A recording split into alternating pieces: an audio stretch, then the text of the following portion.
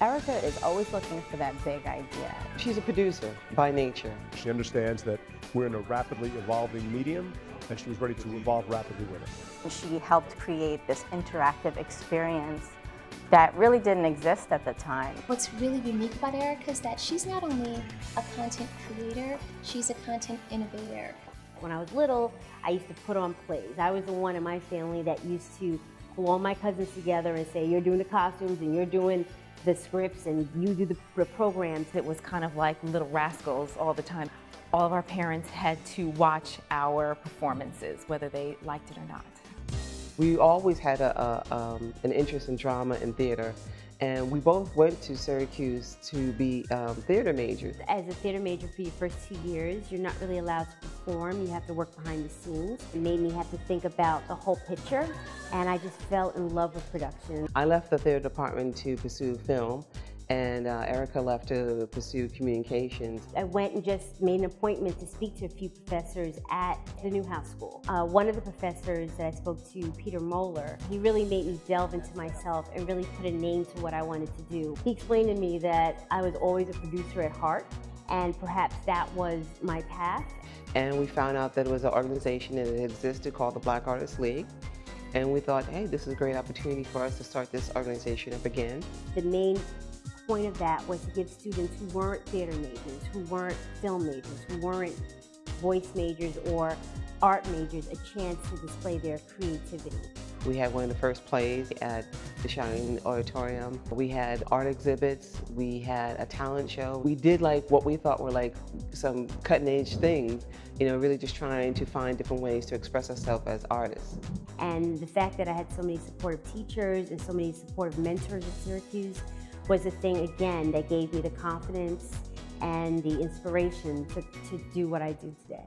Erica is one of those alums who has given back in so many ways. I mean, from the time she graduated, she's been involved with the school. I think she takes a lot of personal satisfaction in mentoring students because she understands how important that is for young people early in their careers. After I graduated from Syracuse, somebody said that CBS News was starting this new show and I ran upstairs and just made a cold call to CBS. A few days later, I got a call that I was meeting with somebody named Andrew Hayward, only to find out that Andrew Hayward was the executive producer of the show.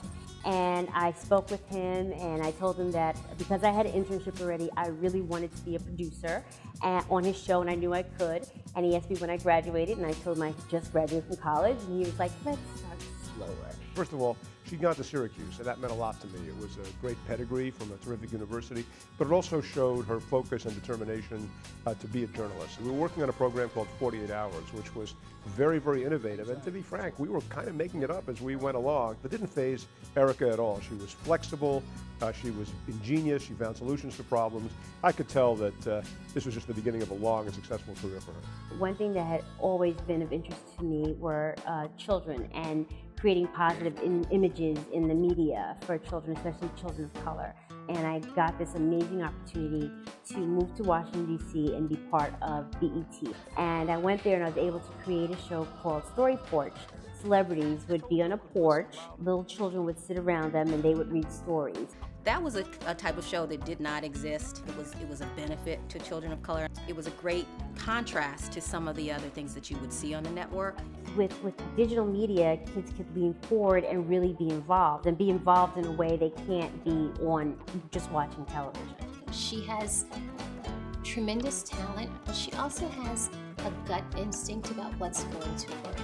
And all of the projects that she's ever worked on, you know, they've always become these these huge events. She knows what it means to value the voice of children, what it means to create dynamic content, and how you put those two together to create award-winning experiences. She brings a wide range of knowledge and skill areas to the work, both from the standpoint of the industry having to do with transmedia development and having to do with how you actually make something come to life. You know, she realized a dream of working at some of the top companies dedicated to children's television and you know she she's done it more and more television shows we're now embracing online what i hope it still doesn't happen but i hope it happens more that more the TV shows and the online could merge more because when that happens, that's where the real magic happens. When everybody works together and shares the information, that's when the experience for whoever the audience is can really come alive. She just has an idea of what they want, what is entertaining, what's fun, and what works and actually teaches kids. She did incredibly innovative and beautiful work. One thing that really makes me who I am is something that I went through when I was 23. I had just, I was two years out of Syracuse and uh, I had this amazing job at 48 hours. I found out at that time I had something called Cushing's disease, which was I had a, a pituitary tumor and I had to have brain surgery. Everybody was starting their careers and it just felt like everybody was moving on and here I had a a stop. I came back after the surgery and I thought I was well and they came to find out that actually I wasn't and they had to kind of do it all over again. That never stopped her and never made her want to give up and just do something easy. And that's definitely very impressive and admirable and I'm definitely, um, you know, in awe of her and all that she's accomplished. And then when I really get down, I always say to myself, well, this is, this is easy. This is not brain surgery. I mean, I did brain surgery and I did that. So nothing else can be as hard as that. So I push myself